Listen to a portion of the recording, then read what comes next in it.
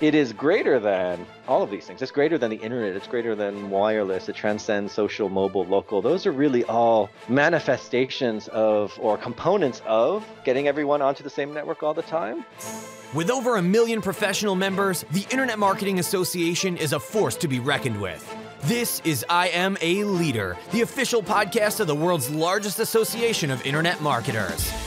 Join Dominic Siriani, CMO, as he sits down with inspirational leaders, delves into the research lab, shares career opportunities from IMA partners like Microsoft, Oracle, and Adobe, and gives you the insights you need to perform at your best. Here's your host, Dominic Siriani.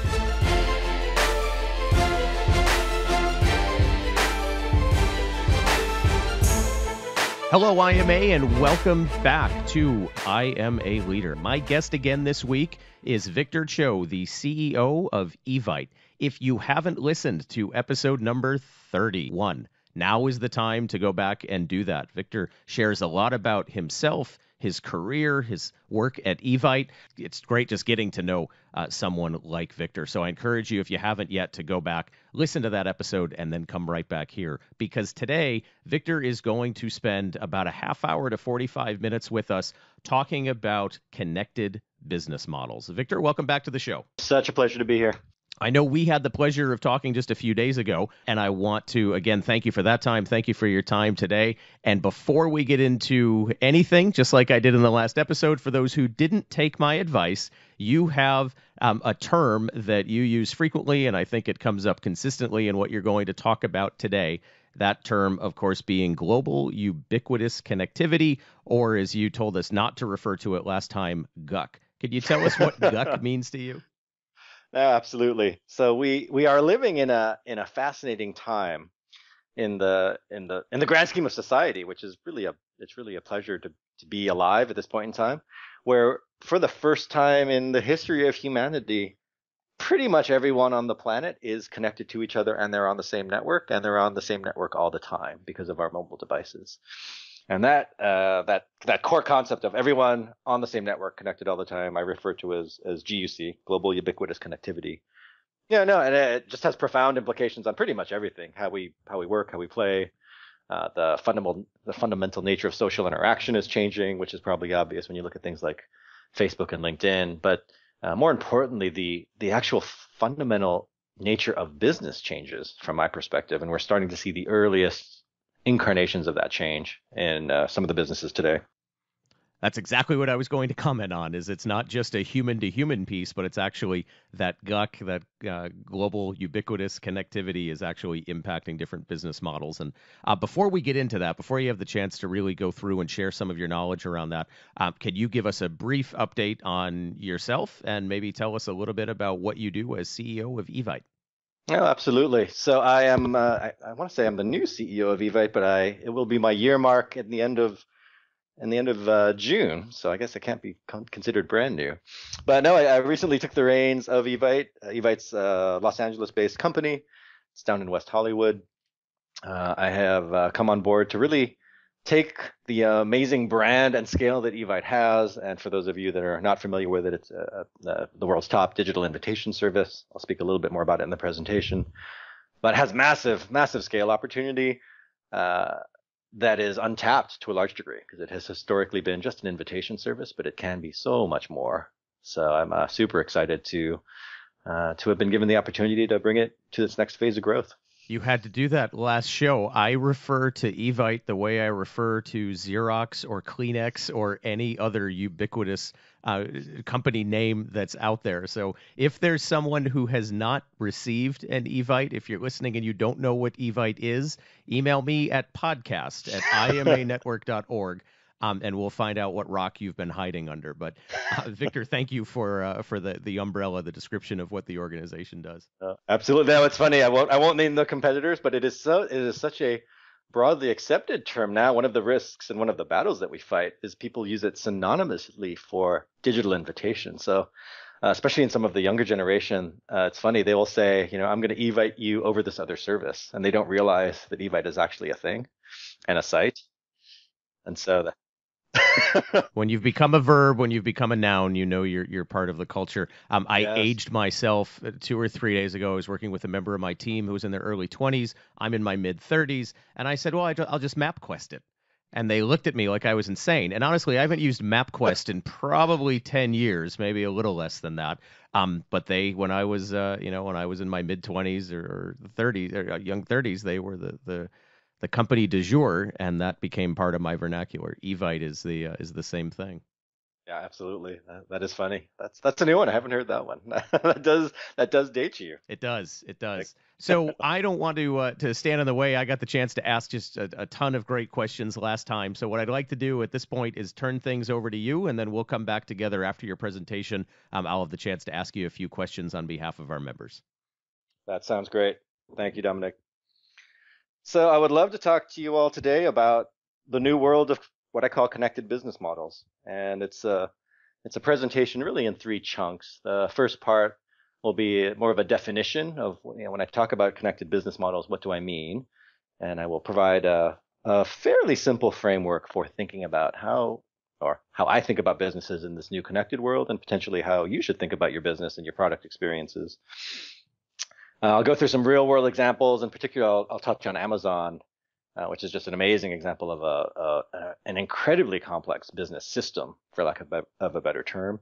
Uh, and then I'll end it with some tangible, uh, making it real and tangible around the Evite brand. So I'll kind of deconstruct how someone like me, who's going in to run a company, takes a framework and actually makes it practical. Because there's there are just so many frameworks in the world that are just abstractions, and you look at it, you're like, ah, that's interesting. Uh, this one, at least from uh, from my perspective, is is quite practical because you can make real world decisions on it in terms of your strategy and product offerings. So with that, I'd love to uh, first start just with just some quick background on myself. Um, I'm a tech guy by heart. I have been with the internet since it formed in the well, not since it was originally formed in the 70s, but since it really hit mainstream, you know, around 94, 95. And I've been lucky in that uh, over the course of my career, I've had what I call uh, fairly major epiphanies, career epiphanies that have always guided my next step in terms of where do I build skills, what what kind of companies uh, do I go after. So I, would love to walk you guys through just at a at a high level through my career journey and in particular how it was driven by some of those career epiphanies. So to start, you know, 1986, that's when I was first exposed to a computer. Uh, Commodore 64 is a present that my dad got me, and I got sucked into that thing. And spent many many hours uh, not sleeping and instead uh, programming and playing games. And my very first epiphany that came out of that was wow i really love computers and i probably want to do this uh, forever. And that's uh, that's that's held true which is nice. Uh, the next year in 1987 uh, i actually started to get paid for using computers. Uh, uh, back then, for those of you that are actually that old, there was a company called Digital Equipment was the top uh, one of the top provider of mainframe systems, and there was a system called a VAX, which was this huge thing in a huge cabinet. Um, there was a VAX, there was something called a PDP-11, but these were you know, effectively dumb terminals connected to smart machines. And uh, my computer science teacher in high school said, "Wow, you're really good at this. You, you know, you can go make some money." And I said, "Great." So I ended up consulting, uh, becoming a consultant and building computer systems for uh, predominantly my school districts, which was fascinating. Uh, and that led me to you know, career epiphany number two, which is yeah, I can make money this way, and it's not only is it fun, but you know it can be a career.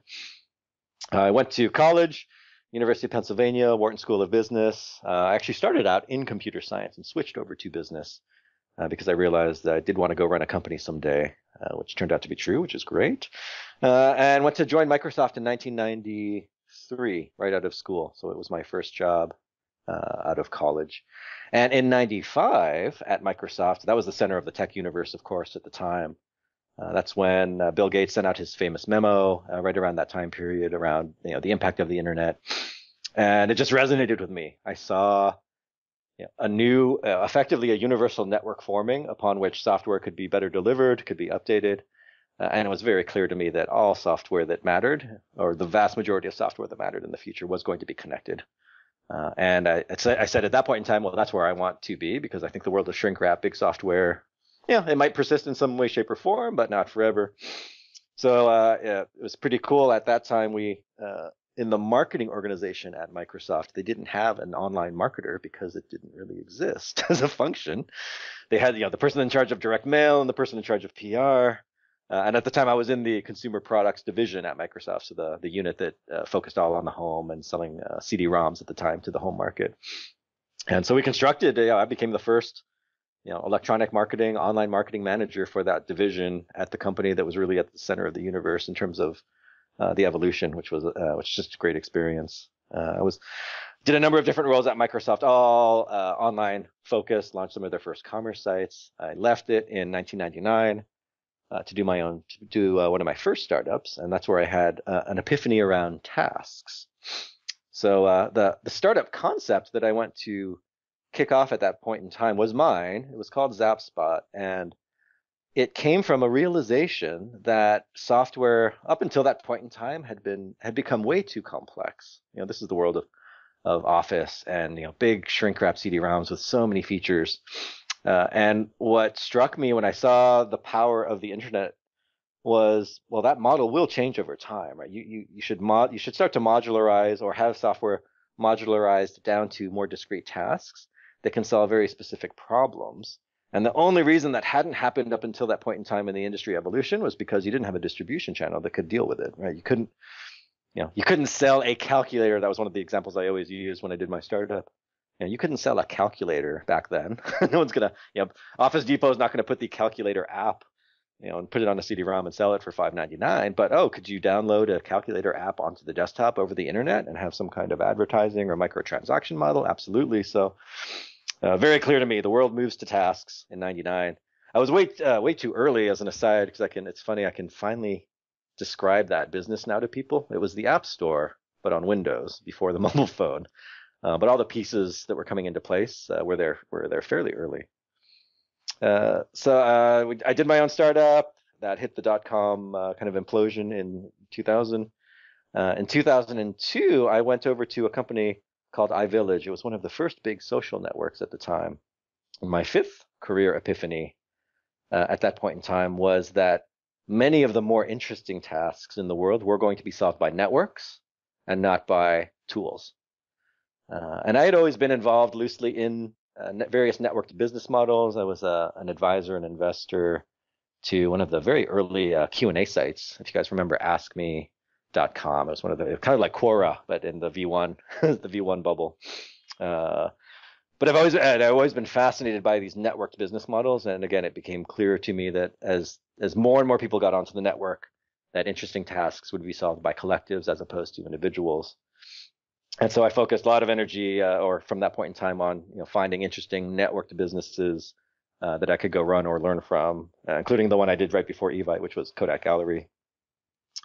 And then uh, final, not really an epiphany, because I would argue the whole world really saw this one coming to some degree, was in 2008 when, of course, the iPhone right started to get early traction, and it became clear that these networked solutions to solve tasks were not just going to be um, desktop centric. And in fact, probably the more interesting ones were going to be mobile enabled and enabled by people on the move with geolocation as a core component. So uh, that was kind of sixth sixth career epiphany, uh, and all of that really has led me to to formulate some frameworks around well, how how does all of that, I mean, why does all that matter in the context of business? Uh, and it's also guided me towards the the jobs that I have. So yeah, Evite, my current gig, the top digital invitation business today in the world. We send out 20,000 invitations every hour. So over the course of this chat, we'll send close to 20,000. So it's got huge scale. It is a connected consumer business. It is a networked business model uh, that helps you solve a task better. Right? With with our network and with with the social graph that gets created, you can find the people you want to send an invitation to and have bidirectional functionality. You know, I invite you, you say yes or no. I tell you what to bring, you say what you're going to bring. Right? All of that can happen in a small closed social network much more efficiently than without the network. So it's it's a perfect example of a networked business that solves a particular set of tasks for consumer better than an individual could do on their own. And again, have been uh, at Evite for the last year or so. Uh, so with that as background, I would love to spend some time now uh, deconstructing this concept of a connected business. Uh, and the term, uh, which we introduced at the beginning of this conversation, the GUC, or what I prefer you not to call it, the GUC, global ubiquitous connectivity, uh, is a new term which is very simply everyone on the same network all the time. Right? When you put it in that frame, it's actually quite simple. It is greater than all of these things. It's greater than the internet. It's greater than wireless. It transcends social, mobile, local. Those are really all manifestations of or components of getting everyone onto the same network all the time, but they're they're kind of subcomponent slivers is the way that I actually think about it. And in terms of the impact on our day-to-day lives, you could argue where this actual blue arrow sits, but it's it's very far on the low end as opposed to the high end. You, know, you, you and I think people get surprised when I make this contention because they say, "Oh my God, the world is so different now than it was." Right? Think, think pre pre-internet, pre-connected world, pre-mobile device, and you know, people. It's like, oh, Google and Facebook and information at your fingertips. Uh, I would argue that yeah, those were all great things, but we are still at the baby stages of understanding or realizing the impact that this can have. And the simple parallel that I draw is having everyone on the same network all the time is equivalent in my mind, if not greater than, the impact that electricity had on the society. So here's just a here's a simple deconstruction. If you take you know one of the few world changers, and there, there haven't been a lot of them. If you think about the history of the world, there's electricity, there's you know, communication, um, is probably one. Uh, you know they're at that level, and ubiquitous connectivity is in that vein. So if you look here, you have 200 years of power you know 1752 you know early stage franklin invents the lightning rod and you just cruise through and look at the um, the steps and the increases in uh, power technology and implications etc it you know it unfolded over 200 years.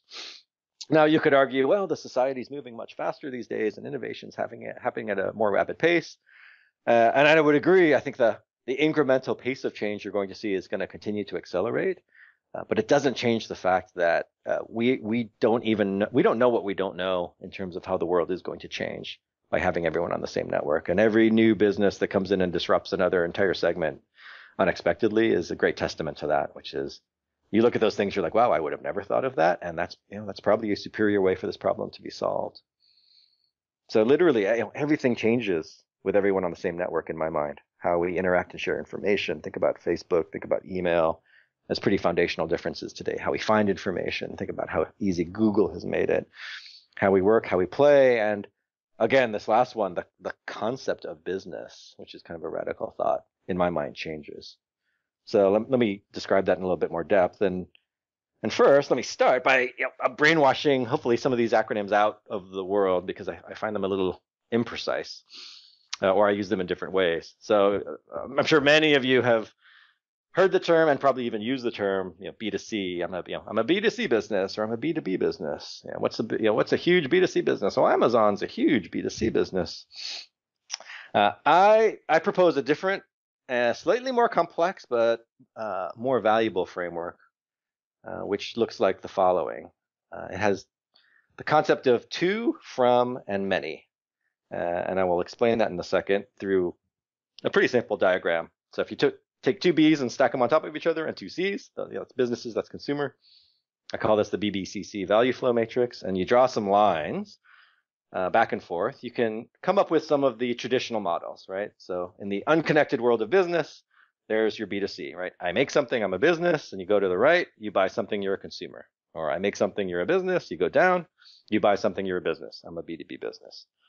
That works in um, in an unconnected world, it actually describes a large number of the businesses that exist. But in a connected world, you get all these interesting new value flows that can really change how your business functions, how it creates value. And the thing that's hard to grasp for a lot of people is that it's it's not push, right? It's not you as a business pushing something to consumer. There's these concepts of pull and bidirectionality, which are really important. So I'm literally going to walk through each one of these in a little bit more depth to make it a little bit more tangible, a little bit less abstract. So let's take the first one, right? The value flow one, B2C. This is a very straightforward one, and this is where I do use the term B2C, although I call it BTC just to try to eliminate confusion. This is a business delivering some value to its consumers. Uh, I frame all of these in a question to make it a little bit easier. So if you're a business, what's a simple question you can ask around this value flow to, to, to be sure you get it? And the question is, what product or service can I deliver to consumers that fulfills a core need or want? That's pretty straightforward. What's a good example? Walmart selling products in a store to its consumers as a B2C value flow. So that's uh, pretty straightforward. But what if you invert it? That's where things get kind of interesting. So value flow number two, B from C or BFC. So what's this? This is actually a business extracting value from its consumers through the contribution of its consumers.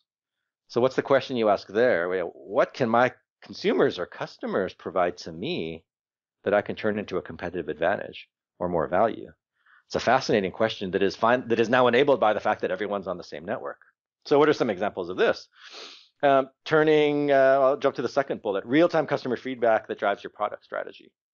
Uh, I'll talk about this at the Evite level, but one of the my, one of my core tenets is uh, the old model of us ideating on what a product should be is is a piece of our product engine, but there's an, an, equally important piece, which is simply gathering feedback directly from consumers in terms of what they want and turning that into product strategy and product direction. Uh, crowdsourcing content, of course, is another great example of uh, a B from C value flow. value flow number three, I call it B many C or BXC for shorthand right? Something that enables, this is a business that is enabling other businesses to connect with consumers. And there your question, uh, as a business in terms of your business model, can I create unique or sustained value by connecting other businesses with, with consumers? Examples of that, uh, PayPal merchants, Expedia, Facebook pages, a great example of that, right? Where Facebook is now becoming an intermediary platform that connects all of the businesses that have a page that wants to communicate to all of the consumers that it touches, and they're actually creating value for themselves in the course of that exchange. Very powerful model. Uh, going down now, if you go kind of the B on the B side, kind of the B2B side, uh, it's really a lot of the parallels, but just with a business frame. So there's B2B or B2B, right? Uh, product or service can I deliver to businesses that fulfills a core need or want? So yeah, Boeing selling planes to an airlines is B2B, but B from B, again, very similar to the other to the B from C. What can my business customers provide to me that I can turn into competitive advantage. Uh, one of my favorite examples here is the mobile application stores that exist for you know, Android and Apple, and, and Microsoft's trying to, to break into that model. But if you think about the strategic advantage that is conferred to the platform businesses that are hosting all of those applications, it's massive. Right? You know, arguably, it's one of the reasons Apple is the most you know, powerful brand slash highest market cap company on the planet right now. You know, every single business that puts an application into that ecosystem creates value for Apple, and it accretes to the parent company. So it's um, it's a great business stream, value stream, if you can tap into it. Uh, and then of course there's the equivalent, the BXC or B many B, or sorry, B BXB or B many B, which is can I create unique and sustained value by connecting businesses to each other. Uh, Google's AdWord and AdSense, to the extent that they are businesses advertising to other businesses, is a great example of this. Uh, you're an intermediary platform where you're taking businesses that need something, connecting it to other businesses, and taking a cut, which is awesome. And then the last one uh, is what I call the CXC or C many C. And this is can I create unique and sustained value by enabling consumers to con- connect with other consumers? And this is probably one of my favorite spaces. This is where I, going back to 2002 in that career walkthrough, uh, this is where I have been most excited in my career. And if you look at, it's probably uh, not a surprise when you look at the list of companies that run on a CXC model, right? Facebook, LinkedIn, PayPal, some of the fastest growing companies. You know, Uber, you could argue is a CXC network, right? It's actually connecting consumers with cars with consumers that need rides. They're the intermediary network that makes it all work. Uh, Evite is a CXC business at its core in terms of its invitation business, which I'll talk about. So hopefully that makes sense in terms of those core flows. So, you know, what I'd love to throw out there, at least as a concept, is don't think about you know B2C. It's really too simple. It's think of that matrix, those different boxes, and think my business is made of these various value flows and which ones are relevant and which ones are not. And you can be very conscious about where you play and where you don't play. And to make that tangible, let's look at Amazon. So again, if anyone tells me that Amazon is a B2C company, I say, no, no, not really. we have a long conversation. Uh, if you think of the value flows that Amazon uh, taps into to give it scale and competitive advantage. There, there are many, and this is just a small handful. So I'll, I'll dabble in just a couple of these. We don't need to go through them all. Uh, but BFC, right? The value flow in that kind of middle top box, turning purchasing info from millions of consumers into better recommendations. Right, it's one of their first uh, competitive advantages, you could argue, as a large scale commerce site was the aggregation of the ratings and rankings and the reviews. You know, they didn't do that just to provide, a, you know, they did that, yes, to provide a good customer service, but what did that also give them? A huge competitive asset because no one on the planet has better ratings and reviews for as long a tail of product offerings. And that is a key reason why people go there to look and search for products. Uh, the amount of work that they had to put in to get, you know, however many millions or hundreds of millions of reviews that they currently have, uh, did not scale linearly with the reviews. Right? It's a it's a platform that starts to accrete value, has its own little mini network effects. So you know, a brilliant a brilliant model. Um, B from B. So go uh, going straight down the middle, using pricing and purchasing insight from its business partners to optimize its own pricing you know, think about, uh, I assume all of you have probably purchased on Amazon. Uh, so think about their model now where they are exposing other product offerings in their flow that are sold by other people at other prices, potentially even lower prices. And now think about the amazing value and data asset that they have. They know what products are most popular. They know the pricing elasticity of different product categories. You know, think about the advantage that gives them in terms of their own inventory management. What products should they go buy and source? How should they price, etc. And that all comes from, you know, what seems like a, a radical competitive idea. Oh, we're going to plug in competitive product offerings from other commerce companies into our flow. When you think of it that way, it sounds radical and crazy. When you think of it in terms of, wow, we could plug in commerce companies at different prices into our flow and accrete all of that value to us and figure out how to make that a competitive advantage. It becomes a very different uh, equation, very different optics. Uh, so there, you know, there's just two, you know, examples of of Amazon. You can see some of these others. Hopefully, they make they make a little bit of sense. But the the core takeaway here is, it's not a B2C business. Um, it has a B2C box. If you look at the top left, it sells. It does sell product. It has huge warehouses. It sells directly to consumers. So absolutely, it's a large chunk of its business that is in the B2C model. Uh, but its overall ability to create value and competitive advantage is more complex. So why does this all matter? You know, it's just a lot of boxes. Uh, it matters to me in terms of when I when I run and look at businesses or business opportunities because if you can really master these different value flows and you make the right strategic choices and the right product choices, you will get more rapid scale. You will get superior economics. You can build better experiences. And more importantly, you can build a, a more resilient business model over time. Because really what you're doing at the core, you're actually building a, an ecosystem as opposed to just a product or a service.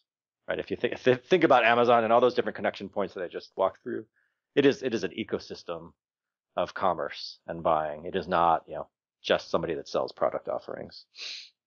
So that's been very important to me as I, you know, over the last 10 or 15 years, as I've evolved this framework and my thinking. It's something that I apply to businesses in real in a real world setting. So let's segue into Evite, and I can spend the last couple of minutes actually walking through kind of a, a mini version of how you would apply that in in uh, real world terms. So again, uh, Evite, for those of you that, uh, hopefully for the small percentage that are not familiar, uh, online invitation service, our core, core business is digital invitations, which uh, has been around for 16 plus years. That was when Evite was founded. Uh, and at its core, that is a value proposition that is in the CXC quadrant, which I describe, right? These are consumers that are connecting to other consumers that they know to get them together for an event or party. So it's got a great uh, has a great viral coefficient in its model, right? Consumers acquire other consumers into the system, so that gives it rapid scale. That's why we send out 180 million invitations every year. It also connects businesses. Businesses use the platform, you know, nonprofits getting together for corporate events. So it has a BXC component. It's connecting businesses with consumers. Uh, so that's historically what the business has been. Uh, reasonably straightforward.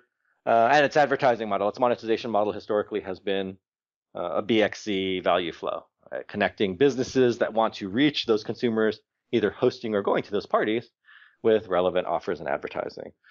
So, you know, these are not uh, super targeted here, but you can imagine, you know, a common advertiser, people that sell, you know, say, alcohol for a party. It's like, yes, we'd like to get in front of all of the hosts that are about to throw a party or barbecue over the summer with our new brand and our new offering. So that's a BXC value flow. Now I'm going to share some examples of where we're taking the business and adding functions and features uh, across this framework that can give us, again, more scale, more resilience, lower cost, better product experience over time. So party content has been added recently to the Evite experience. Uh, literally, yeah, really, uh, it's been a push over the last 18 months, maybe two years. Uh, which is a very simple thought, which is, hey, you know, in addition to just going to the party and managing your uh, your invitation details, we should probably give you value-added content, so you can actually figure out what to bring, or we can you can make interesting food for the party or event, etc. So we originally had this as a subsite called Gatherings. That's now getting integrated into the core experience. It's a lot of content. Uh, it is a B2C value flow to some degree. So we have editors uh, that are actually creating articles, but more importantly, and where we're heading over time is is the BXC model. So a large chunk of the content that is going to be produced, that is produced, doesn't come from us. It comes from third-party experts that we're simply connecting to our user base in a BXC model. And it accretes scale to us, right? It becomes uh, a valuable asset for consumers. They come to us, and that becomes a, a self-feeding system. So that's a great example of a product extension or a value proposition extension that is in a BXC flow, if that makes sense. Uh, gifting and registries is another key part of the experience. So this is functionality where if you're throwing uh, a, a wedding or a birthday party, you can quickly add a wedding registry or a birthday wish list. This is one click. These are through providers that provide that functionality. This is not something that we have built. And so you can think of that is that's a BXC, right? We're, we're connecting businesses that have commerce and registry functionality with consumers, with our consumers, and we're the intermediary, and we get a cut of that. Highly scalable, uh, highly scalable model. Doesn't require a lot of infrastructure. Uh, again, starts to build an ecosystem around us.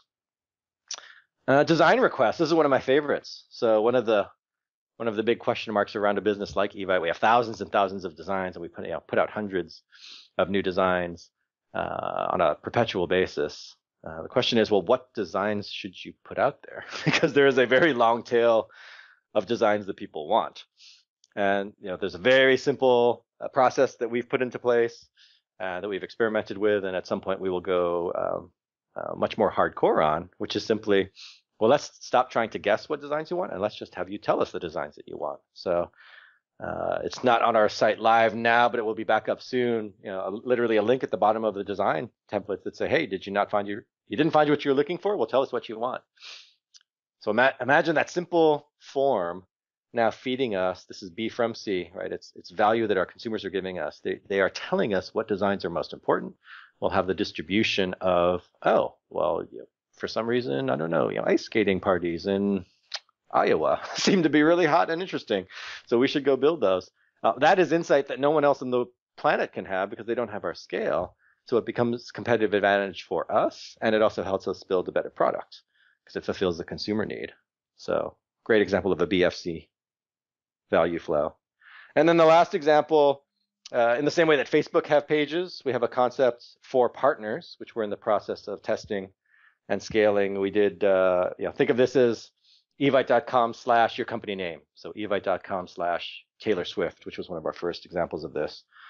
Um, it is basically a way for brands or companies to use invitation functionality to reach their customers. So in the Taylor Swift example, when she launched her last album, which is awesome, by the way, I'm not afraid to admit that.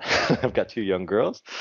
Uh, when she launched her last album, she uh, we created templates. She sent these out to her fan base and said, "Hey, let's throw listening. Let's let's have you, our fans, throw listening parties when we launch the album using these templates." So you know there were you know thousands of Taylor Swift fans that were creating events where they were inviting their friends. Right, it allowed her to amplify her reach, and it all happened on our platform. So it's a great. It has multiple dimensions of this. Right, it was connect. It connects business with other consumers.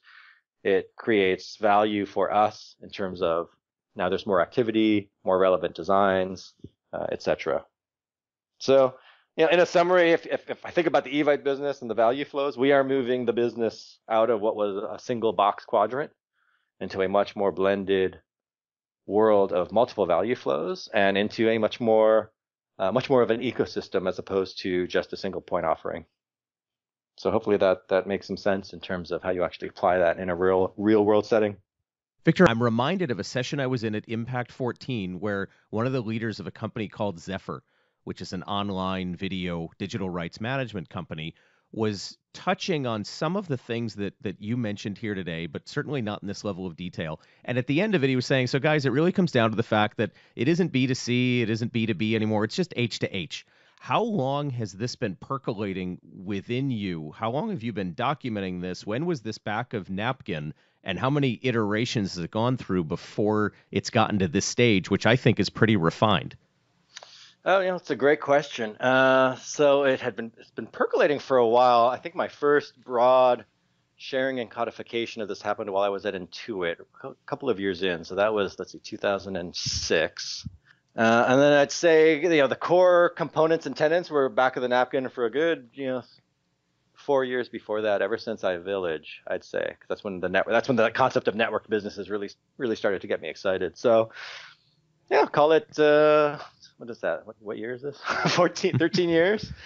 13 years in the making potentially. So knowing that that's been within you, how did that knowledge, because I think you were ahead of the curve, re- recognizing how much was changing as a result of the internet, how did that knowledge tweak the roles that you played at, at uh, prior organizations, Ofoto, um, even Evite, you coming in with this, look, guys, it's not about B2B or B2C. What were you able to implement, or what kind of a, a, a takeaway were you able to give your staff that maximized or that gave them some of this insight and that they were able to actually take away and put into practice? Uh, so let me uh, answer maybe the first part of the question. Uh, for me, this is a it's kind and it's, so ingrained now in how I think. It's kind of a, a de facto filter when new job opportunities come across the fore. When I'm even thinking about new businesses, this is just kind of implied in how I think about it. So, uh, a point example: when uh, I was at Intuit and got a call for Ofoto Kodak Gallery, you know, literally I go through this framework in my head, which is okay, what's the current business model? Like what, what are untapped opportunities for this business in terms of value creation, either, you know, from consumers, connecting consumers. Uh, and you know something like an Ofoto, which is a photo sharing site, at its core is a CXC business, and so that's always a, a plus for me. Which is okay, great. do, you have an underlying core platform that's actually a fairly resilient model or a CXC model, which I which I tend to love. And Evite's the same way. I looked at Evite and said, at your core, you've got a CXC business, it can be so much more if you extend it out into these other areas, and and it ha- you know it hasn't been doing that historically. So it definitely becomes a filter uh, for me as I assess opportunities, businesses. I, I do advise I, advise companies and sit on a board of a uh, a startup, so it's it's always a component uh, of my feedback. In terms of my team, uh, you know that's a good question. I I would just hope I don't know. It'd be funny for me to go and survey them. I, I would hope that as a leave behind, I leave them with a more sophisticated frame for how they think about the world. And that's it was one of the reasons I put all this online. So this entire presentation and, and full of detail is actually online in a deck. I did that in uh, I want to say in 2012 maybe, so three years ago. Uh, but yeah, no, I just I, I just love to share the thinking and uh, hopefully some of it will stick. And more importantly, I hope I get feedback from other people uh, to refine and, and modify and evolve it over time. Well, there's a key takeaway for me in, in what you just said, which is you can, when faced with a new opportunity or a new business, you can look at which of the components of the framework currently exist. And this is how you describe what you did at Evite. So, mm-hmm. okay, you have a, a CXC and that the business is sitting in the middle of that, creating a market essentially.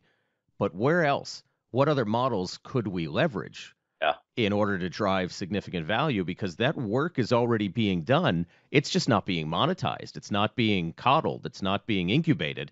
And so there's there's a way to to monetize or drive revenue from those things that somebody who's not looking at it with this framework either wouldn't recognize or wouldn't recognize as easily as if they were using your framework. Yeah. Yeah, that, that's exactly right. That's exactly right. There's a whole uh, it's funny. I have a whole separate deck, which is a, a this still back of the napkin uh, hasn't been put yet on paper, but it's it's the evolution of the role of marketing in a connected world. So it's kind of taking this frame and now saying, okay, if this is the world we're operating in, how does marketing actually change? And one of my contentions is, you know, is marketing's way behind because we use you know we use four Ps and stuff that's actually fairly archaic. But one of the components of that frame is there's the concept of an ecosystem builder that is an important role in a business, which is someone who can do exactly what you're describing, who can actually look at the value flows of the business and figure out where you know where are the right leverage points to create value. And it's it's a mix of product and marketing because a lot of the a lot of the tweaks you make to the business are experiential tweaks, kind of product tweaks, and that's where the role of marketing and, product and product really is blending. It's it's creating interesting friction in my mind. Well, and to that point, I want to talk specifically about the party content. I know we're we're pressed for time here, so I'll be quick. But as you develop the content engine behind Evite, which is more the B2C or BXC model, you talked about having some editors that that provide that content, that create that content. I'm sure there's user generated content that could also be uh, leveraged here. I think you mentioned some of that. Have you thought about diffusing that editor role so that you know almost like that uber model almost like pushing the business down directly to the consumer you have more of your consumers aggregating providing or editing that content.